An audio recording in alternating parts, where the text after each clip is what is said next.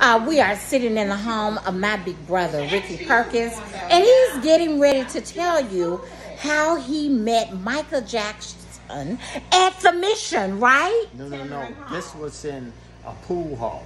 It was This a pool hall. Pool hall called Hole in the Wall. All right. I was sitting there drinking beer. I mean, I was drinking too. Uh-huh. You. You know what I'm saying? I was drinking, and there was a lady over there sitting beside me right there.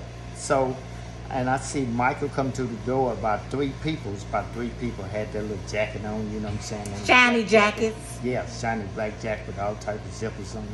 And uh, I looked at the lady. I say, "Is that a lookalike Michael Jackson?" And she said, "That's the real deal." I said, "No, this is not the real deal." She go over there and talk. And this was him. in Los Angeles, where we are right now. Mhm. Go over there and talk to him. So I went over there. I said, "Are you the real deal?" He said, "Yes." He said, "Yes, I'm the real deal." I said, "Man." I said, I remember you was young when you sang ABC and all that stuff. And like you were a big fan, You too, know what I'm just saying? like I us. said, I love you, man. You like that, like a brother, like that. So he just he looked at me. I said, I want your autograph, so when I go back home, I can give it to my sisters. And all that." Right. You know what I'm saying? So he said, okay. He said, you come to this video. It's uh, we filming Beat It.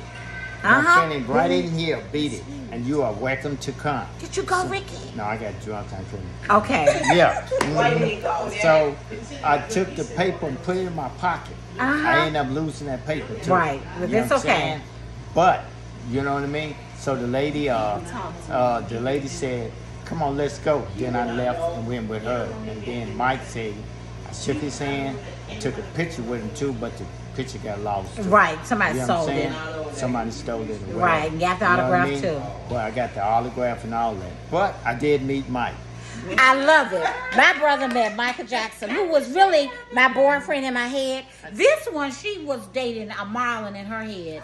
This one was dating Jermaine, and this one one day nobody. She was she was too young. So with that said, everybody, I appreciate if you hit like and subscribe. Sounding off, teach Jackie. Peace. Yeah.